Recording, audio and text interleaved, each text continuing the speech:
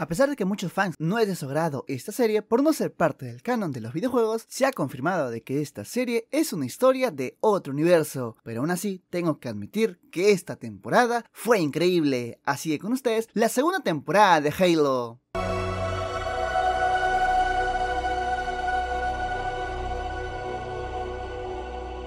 Luego de casi morir en la temporada pasada, aquí veremos que el jefe maestro logró sobrevivir y lograron quitar la cortana. Ahora ha vuelto a las misiones junto a su equipo en el planeta santuario, pero solamente se encargan de misión de evacuación, cosa que a Bannak no le gusta, debido a que quieren volver de nuevo a la acción, y a estas alturas nos enteraremos de que todos los Spartans se quitaron la baliza, y ahora todos tienen voluntad propia. Los Marines se encargan de evacuar a las personas del planeta debido a que el Covenant ha empezado a destruir planetas, aunque aquí veremos que una anciana no quiere salir de este lugar. El jefe maestro recibe la misión de rescatar a un equipo de comunicaciones que se encuentran en el planeta, a lo que el jefe maestro logra encontrarlos, pero para su sorpresa, aquí se darán cuenta que el Covenant se encuentra en este planeta y empieza a matar a todos los Marines. Solamente sobrevive una y es una Marine llamada Pérez, y aquí veremos que los Elites se preparan para poder acabar con el jefe maestro, pero por alguna razón ya no deciden atacar y deciden retirarse de este planeta. Aquí el jefe maestro verá a lo lejos a la misma Maki, lo cual es imposible debido a que ella murió en la temporada pasada. Lamentablemente, aquí veremos que el planeta es destruido por la flota del Covenant, donde veremos que el equipo plata y el jefe maestro logran salir vivos de este lugar. Al llegar a Rich, informan sobre todo lo que pasó y nos enteraremos de que muchos planetas han sido destruidos, incluyendo el planeta de Wang, y en esta reunión conoceremos al mismo Ackerson. Él ahora será el reemplazo de la doctora Halsey y está a cargo del programa Spartan, y el jefe maestro tiene una reunión con Ackerson, a lo que este le explica todo lo que pasó y que algo mucho más grande va a pasar, debido a que no tiene sentido de que invadan un planeta que van a destruir, y es por eso que cree que el Covenant está entrenando para algo mucho más grande. Ackerson empieza a cuestionar la salud mental del jefe maestro y cree que no es apto para el combate, y es por eso que decide castigar al equipo Plat a que ya no tengan más misiones. Ackerson quiere quedar bien ante la opinión pública diciendo que todo está bien en la guerra contra el Covenant y que estamos ganando, y también hace que el jefe maestro quede como loco. Aquí conoceremos a otro equipo Spartan y este es el equipo Cobalto y ellos tienen una nueva misión para poder arreglar un problema de comunicaciones, pero aquí el jefe maestro les advierte que tengan mucho cuidado, ya que en el anterior planeta pasó lo mismo. Pero aquí el equipo Cobalto les dice que su misión no es enfrentar al Covenant y es por eso que no están preocupados. El jefe le reclama a Ackerson por enviar al equipo Cobalto sin información sobre lo que está pasando y que están enfrentando algo que ellos no saben, pero Ackerson no le interesa escucharlo y cree que todo lo que dice es producto de haber sido separado por Cortana. Mientras tanto en los escombros se está llevando a cabo una subasta de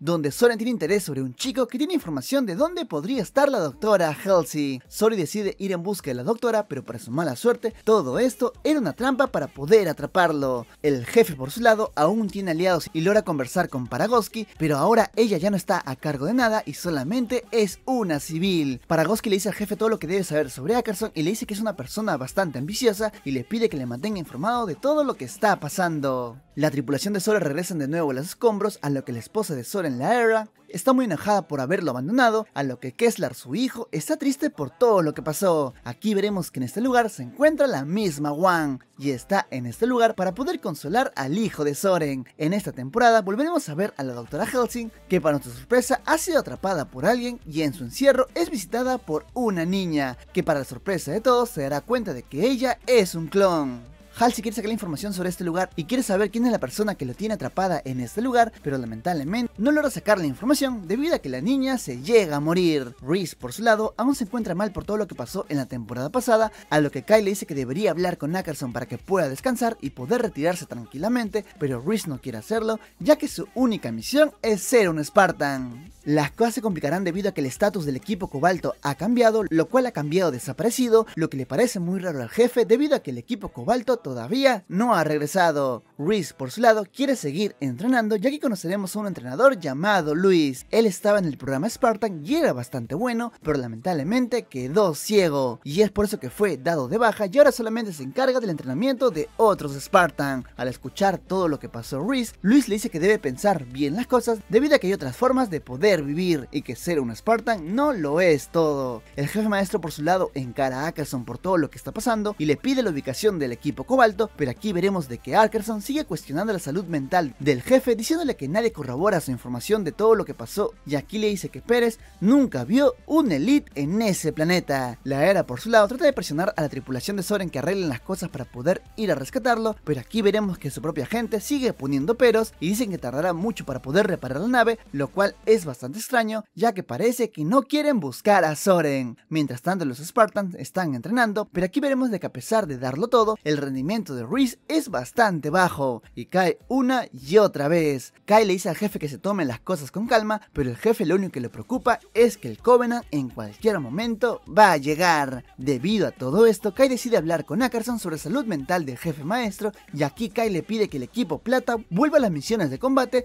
debido a que los necesitan y si es posible la manden solamente a ella. El jefe por su lado decide hablar con Pérez por haber mentido en su informe y no mencionar a los Elite, a lo que Pérez le comenta que logró escuchar al Covenant al momento de entrar al planeta y no dijo nada debido al miedo que sintió en ese momento y ahora solamente siente culpa por todos sus amigos caídos. Halsey por su lado logra descubrir que su captor es nada más y nada menos que el mismo Ackerson, lo que significa que Halsey se encuentra en Reach. También nos enteraremos de que Ackerson tiene en su poder a la misma Cortana y él estado haciendo una simulación sobre una posible invasión a Reach, a lo cual no importa lo que hagan, la caída de Reach es inminente. El jefe maestro está investigando la ruta de vuelo del equipo Cobalto y se da con la sorpresa de que el equipo nunca salió de Reach. Es por eso que el jefe junto a su equipo salen a investigar debido a que todo parece indicar de que el Se encuentra en Reach. Mientras tanto, aquí conoceremos al Inquisidor, el líder de este grupo que atacará a Reach. El Inquisidor está peleando con algunos Marines y aquí nos enteraremos de que Maki está viva y está en busca de los artefactos Forerunner que vimos en la temporada pasada y logran conseguir uno de estos. El jefe maestro por su lado va conseguido para buscar al equipo Cobalto, pero para su mala suerte no logra encontrar nada y no solamente eso, sino que los Marines lo regresan de nuevo a la base y toman como al jefe maestro una persona loca. A raíz de esto, el general Kiss decide castigar al jefe maestro diciendo que ahora debe pasar por una evaluación psiquiátrica y esto enoja mucho al jefe y es por eso que decide escapar y buscar respuesta de todo lo que está pasando. Mientras tanto en los escombros, la Aero descubrirá que todo ese tiempo la tripulación de Soren los ha traicionado y es por eso que deben enfrentarlo. Con la ayuda de Wang logran salir del planeta pero Kessler su hijo escapó antes en otra nave y ahora deben ir por él. Kiss por su lado logra descubrir que los cuerpos del equipo Cobalto dándose cuenta de que el jefe maestro todo este tiempo tuvo razón y el ataque del Covenant ya está llegando. Kiss le dice a Ackerson que active el plan invierno para poder evacuar a todas las personas del planeta, pero el plan de Ackerson es otro y solamente evacuarán al personal necesario y todos los recursos útiles, lo cual Kiss no está de acuerdo ya que la prioridad es salvar a todas las personas y ahora se quedará en Reach para poder pelear y evitar la destrucción de este planeta. El jefe va en búsqueda de Pérez donde ella le comenta que antes de la invasión del planeta santuario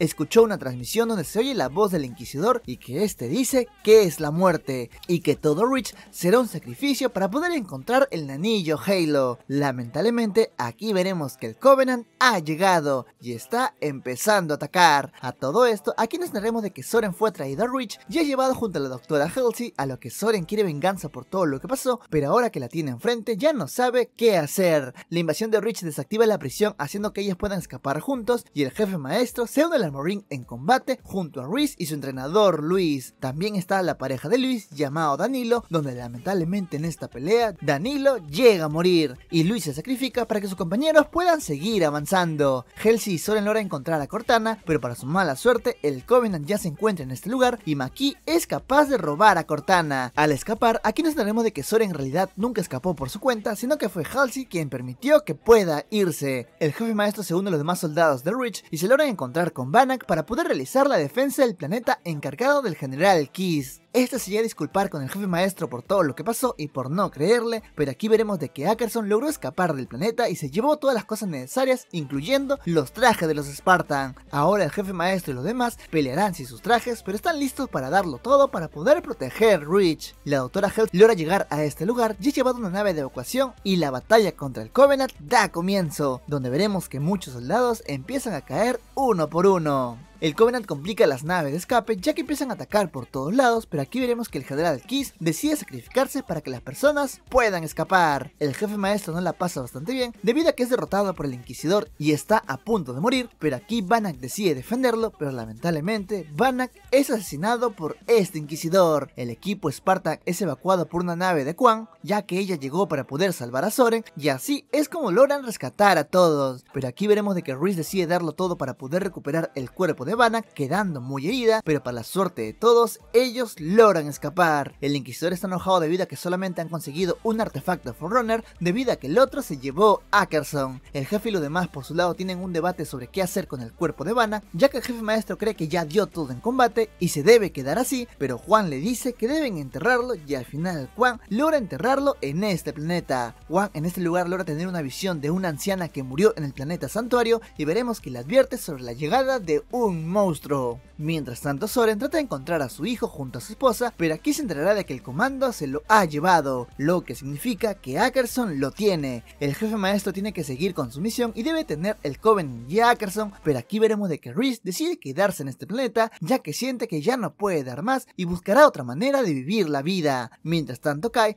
todo este tiempo se fue con Ackerson y ahora todo el mundo cree que el jefe maestro ha muerto. Y es por eso que ha hecho otro programa de Spartan donde empiezan a entrenar a muchos soldados y la persona a cargo de todo esto es la misma Kai. Pérez forma parte de este nuevo grupo de Spartan y junto a sus compañeros se encuentran en una simulación para poder enfrentar al Covenant. Y a todo esto nos enteraremos de que Ackerson trabajaba en realidad para la misma Paragoski y ella es quien daba las órdenes todo este tiempo para poder recuperar poder y se ha enterado de que el jefe maestro sigue vivo. Y esto podría ser un problema ya que todo el mundo se enterará de lo que pasó realmente en Rich y será bastante malo para todos ellos. El jefe maestro junto a Soren entran al comando para poder rescatar al hijo de Soren, a lo que el jefe maestro ataca a los Marines, pero este se deja capturar para que Soren pueda entrar sin ser visto, mientras que Ackerson le dice a Kai que todo este tiempo el jefe maestro estaba trabajando con Maki y todo para poder conseguir los artefactos Forerunner. Todo esto para ponerse en contra uno del otro, a los que se llega a encontrar, y el jefe trata de explicarle a Kai todo lo que hizo Ackerson, pero a pesar de todo lo que dijo, ambos empiezan a pelear. Debido a que el jefe no tiene su armadura, Kai es capaz de derrotar al jefe, pero a pesar de todo, Kai empieza a cuestionar todo lo que pasó y decide confrontar a Ackerson. Mientras tanto, Maki ha perdido su conexión con el artefacto Forerunner y es por eso que no puede ver el Halo al tocarlo, y aquí Cortana le dice que podrá hacerlo si es que el jefe lo logra tocar al mismo tiempo. Es por eso que Maki decide mandar una señal para que Cortana pueda entrar a los servidores de comando y así Cortana puede hablar con el jefe maestro. Luego de algunas cuantas peleas, el jefe y Maki son capaces de tocar estos artefactos y juntos logran conversar dentro de la proyección del Halo, donde aquí Maki le dice que no importa quién consigue el Halo, el que lo tenga destruirá el otro bando, lo que significa que esta guerra solamente acabará cuando uno deje de existir. Es por eso que Maki quiere acabar con todo e iniciar una nueva era de paz con el Covenant, pero aquí veremos que el jefe maestro quiere hacer todo de la mejor forma posible y es por eso que rechaza la propuesta de Maki. El Covenant logra encontrar la ubicación del Halo y es por eso que manda toda su flota Covenant para poder buscarlo, pero aquí Paragosk logra enterarse de todo esto, es por eso que decide enfrentar a esta flota y su misión es implantar un virus y mandar al nuevo grupo de Spartan, y aquí veremos que a Paragoski no le importa cuánta gente llega a morir en esta pelea, lo único que importa es que uno sobreviva para que pueda implantar el virus. Mientras tanto, Hals y Juan logran llegar a una cueva donde se encuentra con Miranda, la hija de la doctora, y ellos han continuado su investigación y juntos logran encontrar un cadáver con un artefacto de este lugar, lo que Miranda decide llevárselo a investigar. El jefe, por su lado, enfrenta a Ackerson y logra convencerlo de que haga lo correcto y que enfrente a Paragoski a que detenga toda esta locura de mandar a Spartan a morir, y a pesar de que Ackerson le enfrenta, aquí es arrestado por la misma Paragoski. Soren, por su lado, logra encontrar a su hijo, pero para su mala suerte, aquí su esposa e hijo son arrestados por el comando. El jefe se une a la lucha para poder evitar que el Covenant consiga el Halo, pero los Spartan empiezan a morir uno por uno. Es por eso que el jefe decide abandonar su misión, y todo esto para poder salvar a Kai y los demás. El jefe logra evacuar a los Spartan,